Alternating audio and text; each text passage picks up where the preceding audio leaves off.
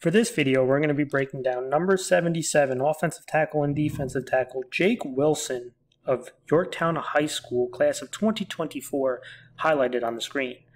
Before we dive further into the video, if you like this kind of content, please give a, a thumbs up and subscribe for future videos. And if you're considering helping the group even further, think about joining our Patreon for added benefits or using donation links below. Now getting back to Jake, this is a big man, 6'3", 300 pounds. He really can engulf defenders with his size, and when he gets his hands locked in, he can really control them. But what impresses me most about him is given his size, he moves relatively well. He's got solid feet. I've seen him in the run game, pulling, getting to the second level, even making some contact at the second level, which is pretty impressive given his size at the high school level. And then pass pro, he also shows he can shadow edge defenders relatively well, including speed rushers. Now, things he can work on, he definitely needs to play with better pad level. I think in his stance, he's standing up a little bit too high.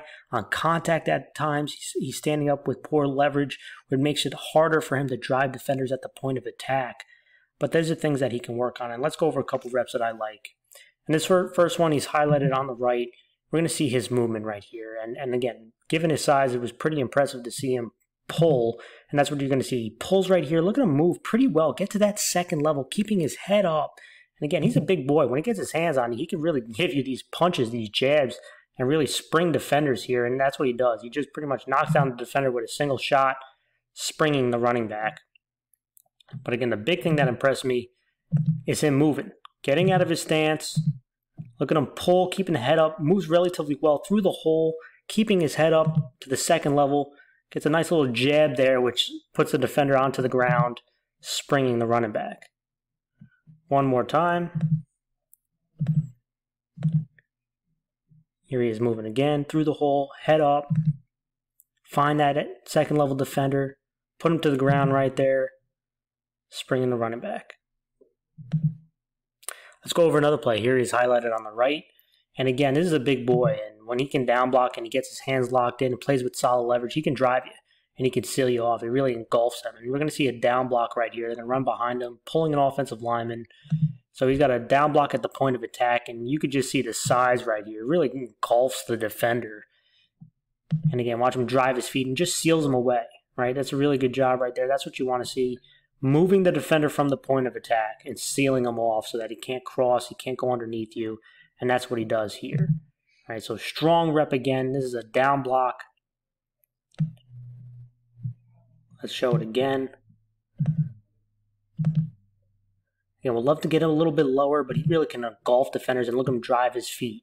Again, a lot of size and mass behind him, and he just seals that defender off. One more time.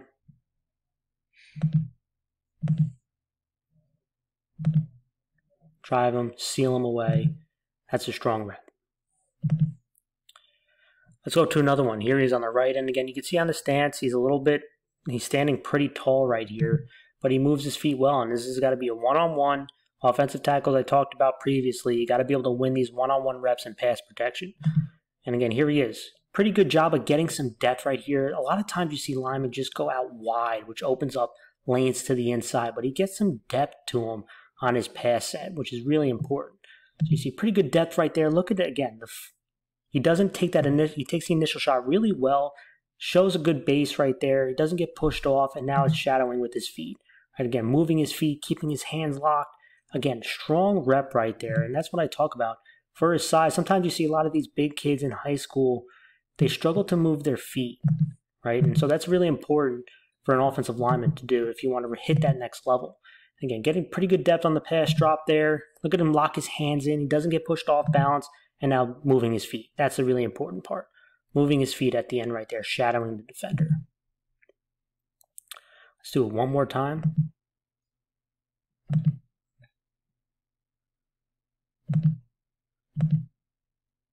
And look at him shadow the defender at the end right there. Really good. Go to the final play. Here he is highlighted one more time. And again, going up in a pass, uh, pass block set. And let's watch him move again. Here he is highlighted. Gets a little bit wide here, but again, some depth. Doesn't get pushed off on that, uh, on kind of that bull rush. But look at his pad level. This one's a little bit better, right? He's below the defender here. And now watch him shadow. Shadow, right? Really good job shadowing the defender, not getting pushed off balance. Again, there's some potential here. Here he is again on the pass drop, highlighted right there. Again, battling with his hands, but he's playing with better leverage on this rep. And then he shadows the defender. Again, I'm excited to see the growth from this young man. He's going to have to be a really important player on the offensive line heading into this upcoming season.